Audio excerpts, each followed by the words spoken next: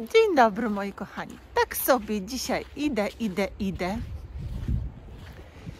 I pomyślałam sobie, że zrobię dla Was film o imbirze, bo dużym zainteresowaniem cieszył się ten film, w którym pokazałam Wam, jak w wyciskarce wyciskam imbir.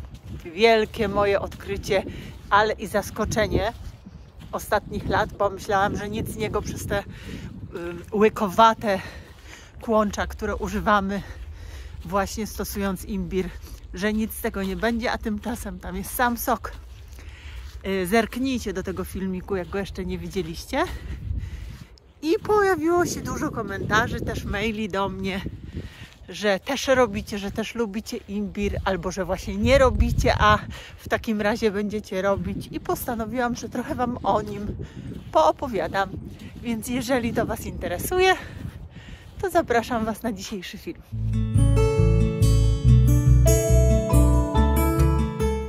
Imbir jest rodziną z. Y, wróć! Jeszcze raz.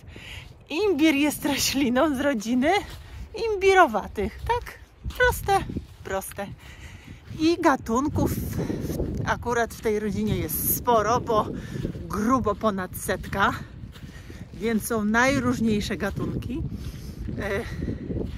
Rdzennie, jakby rdzenną krainą bytności imbiru jest Azja, Azja Południowo-Wschodnia i stamtąd on się wywodzi, ale został przewleczony na wszystkie inne kontynenty, między innymi do Europy wcześniej, bo do Europy przywieźli go już podróżnicy, między innymi Marco Polo. To sobie pomyślcie, kiedy to było. No nie wczoraj, ani przedwczoraj, ani nawet 100 lat temu, tylko jeszcze wcześniej. Takie trochę dziwne jest światło, nie ciemno, bo już jesteśmy na popołudniowym spacerze, jest 16. Ale to nic, ale mam nadzieję, że, że nie przeszkadza to Wam. No i jak mówiłam, yy, stosując imbir, używamy jego kłącze. Kłącze, z którego wyrastają takie zielone pędy, potem kwiaty. Bardzo wielu z Was samodzielnie rozmnaża imbir i hoduje gdzieś w swoich domach. Mm, słyszałam o wielu takich przypadkach. Ja akurat nie, bo wiecie, że ja jestem trochę leniwiec i idę sobie do lasu po wszystko, co potrzebuję. Nie mówcie o tym nikomu. Ale wiem, że takie właśnie są yy, praktyki roślinne i że wielu z Was ma swój własny, yy, swój własny imbir. A ten nasz imbir, jak już go sobie kupimy, dostaniemy albo wyhodujemy, to możemy w różnych celach stosować, bo wiecie, że możemy jako roślinę leczniczą z jej właściwościami, możemy jako przyprawę, e, lito w postaci świeżej takiego krojonego czy tartego imbiru, li też suszonej, bo taki imbir też możemy dostać. Y, możemy używać w kosmetyce, bo wiele, wiele kosmetyków jest takich, które mają gdzieś wyciągi z imbiru, mało tego, olejki imbirowe na przykład w swoim składzie. Więc to jest bardzo wszechstronna i w wielu aspektach życia naszego stosowana roślina. A jakie on ma właściwości? No na pewno wiecie, że on ma właściwości przeciwzapalne, przeciwwirusowe, przeciwbakteryjne i dlatego tak świetnie sprawdzi się we wszelkiego rodzaju przeziębieniach, we wszelkiego rodzaju infekcjach, na które cierpimy. Wtedy sobie my, robimy sobie właśnie taki sok imbirowo-cytrynowy albo sam imbirowy, dodając do herbaty. Yy, yy, co ja chciałam mówić? A, albo właśnie kroimy sobie imbir i dodajemy do herbaty, albo pod każdą inną postacią go sobie y, stosujemy. Niektórzy robią nawet takie szoty imbirowe bez rozcieńczania i kieliszeczkiem y, sobie piją. No on jest ostry, więc to trzeba być takim y, twardym zawodnikiem, ale Dlaczego nie? Dlaczego nie? Ale mało kto wie, że na przykład imbir ma też właściwości przeciwbólowe. Więc jeżeli będziemy mieć na przykład kobiety czy dziewczyny, jak mają y, bolesne miesiączki, to też można sobie zażywać imbir. I jeśli chodzi o infekcje i o to działanie y, przeciwzapalne, odkażające, ale i przeciwbólowe, tak, y, o którym też y, mówiłam, to możemy sobie na przykład stosować go do płukania jamy ustnej. Jak boli nas gardło, jak się nam infekcja zaczyna. Nie tylko wewnętrznie go stosować, ale stosować go miejscowo, właśnie na to obolałe gardło, żeby nam y, przyniosło to ulgę. E, świetnie działa przeciwko mdłościom, przeciwko wymiotom i nie tylko wtedy, kiedy e, wybieramy się w podróż i traktujemy to jako, jako antidotum na chorobę lokomocyjną. Zresztą nie tylko dla ludzi, bo jak dolar był mały, też miał problem z tym, żeby jeździć e, autem. Zawsze było mu niedobrze i też mu takie próbowałam przemycać środki naturalne, które miały w sobie imbir i to się sprawdzało. E, y, y, tak. I o czym ja mówiłam? Już wiem, już wiem. Coś ostatnio jestem bardzo rozkojarzona. Chciałam też powiedzieć, że imbir sprawdza się też świetnie na takie mdłości y, związane z okresem ciąży, kiedy to na początku ciąży bardzo, bardzo y, wiele spań cierpi właśnie na, na mdłości, czy, czy, czy ma wymioty związane z tym pierwszym okresem ciąży, to imbir świetnie sobie z tym poradzi. No są nie, zdania podzielone, niektórzy twierdzą, że, że powinno się bardzo y, rozważnie go stosować, no ale nie popadajmy też w, w, przesadę. Nie ma jakby jednoznacznych takich badań, które mówią, że trzeba imbiru. Zresztą jest film o ziołach stosowanych w ciąży, też na kanale, też Wam tutaj podlinkuję.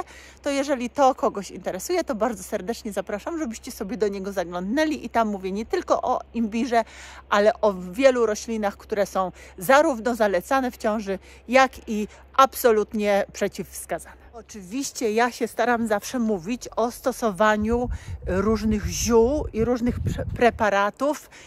E, jeśli chodzi, o widzicie, tu mam takie rozdroże. Ciach, ciach, my idziemy z dolarkiem tędy, a tu jest jeszcze jedna dróżka. E, dla ludzi zdrowych, tak? W celach prewencyjnych, profilaktycznych jak ktoś z Was jest chory, no musi skonsultować z lekarzem, a zwłaszcza jeżeli ktoś bierze jakieś leki, musi skonsultować z lekarzem, czy może daną substancją roślinną też y, się posiłkować. Dlatego, że no my myślimy, że rośliny to są takie przysłowiowe dropsy, które możemy sobie łykać. Nie, jeżeli rośliny mają nas wyleczyć z najpoważniejszych chorób, no to one mogą nam też zaszkodzić, no bo one mają bardzo silne działanie. Na przykład imbir ma też, zmniejsza lepkość krwi, działa przeciwzakrzepowo i to silnie przeciwzakrzepowo.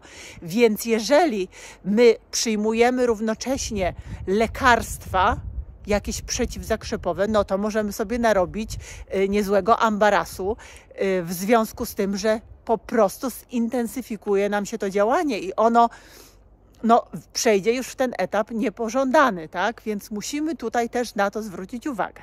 Imbir działa też świetnie na nasz układ pokarmowy, ponieważ działa żółciopędnie, działa rozkurczowo, wspomaga nam trawienie w związku z tym i też eliminuje skurcze jelit, y, powoduje, że mm, y, y, łatwiej jakby nam pracuje i łatwiej nam funkcjonuje cały nasz układ, cały nasz układ pokarmowy. Ale też działa lekko moczopędnie, więc układ moczowy też na stosowaniu imbiru skorzysta. Nie ma chyba układu, który by się z imbirem nie lubił. Dolarku, chodź tutaj, za daleko już poszedłeś. Sorry, wracam za chwilę. Proszę bardzo, powiedz, kto ucieka.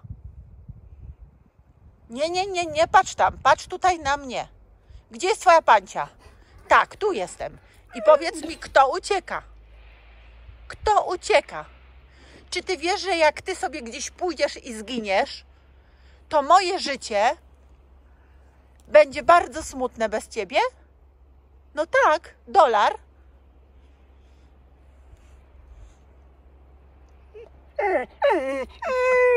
No tak, no właśnie takie będzie.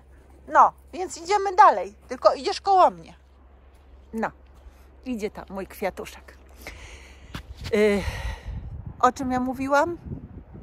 A, o tym działaniu moczopędnym jeszcze Wam chciałam powiedzieć, że no w związku z tym, że układ moczowy, no to ym, wszelkiego rodzaju obrzęki, które mamy, związane z zatrzymywaniem wody. Też możemy regulować stosując imbir, bo on nam będzie to akwaretyczne działanie, tak? To kiedyś mówiło się diuretyczne, teraz się mówi akwaretyczne działanie.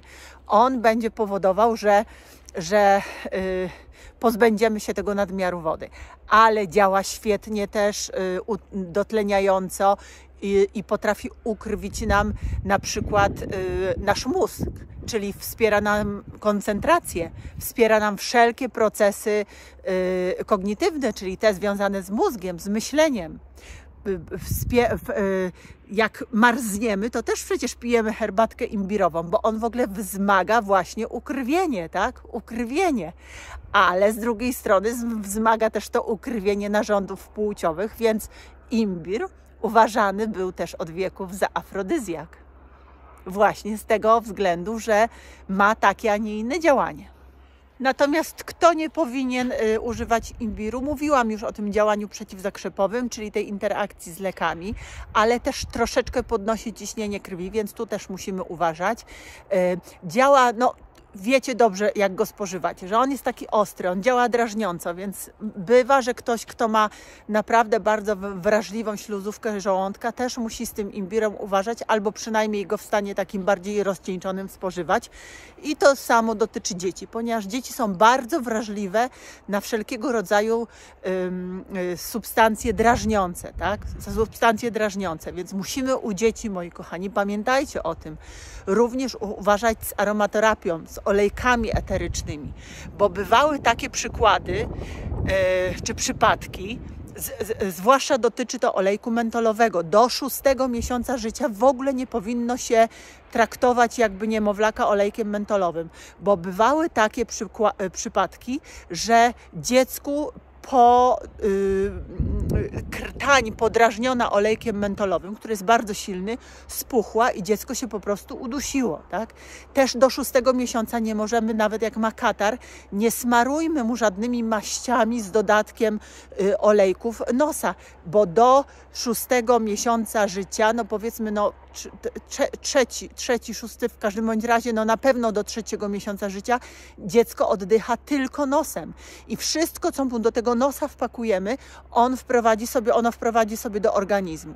Więc uważajmy, w ogóle nie powinno się do trzeciego miesiąca życia w ogóle dziecku niczym smarować, ewentualnie sól fizjologiczna, potem już po trzecim miesiącu y, sól morska, tak?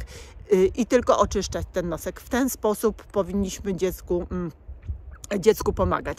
Natomiast no, na pewno nie stosować tych silnie drażniących olejków, a takim drażniącym czy taką drażniącą rośliną jest też imbir. No i jak mamy kolokwialnie mówiąc już obcyk... A, ja patrzcie, bo wy z tego miejsca tu, jak z dolarkiem chodzimy, nie macie dużo filmów. Nie macie. Teraz sobie tak skonstatowałam, że nie macie dużo filmów. Być może dlatego, że my tą dróżką tą dróżką chodzimy sobie po południu i po południu zazwyczaj ja już dla Was tego, tych filmów nie kręcę, bo i światło jest nie takie i zawsze rano mam jakąś taki, taką większą ochotę, żeby się z Wami spotkać. Też trochę ładniej rano wyglądam, jak jestem taka wyspana, a teraz już i potargana i, i w ogóle, ale to nic. Ale tutaj też mamy ładnie, prawda? No.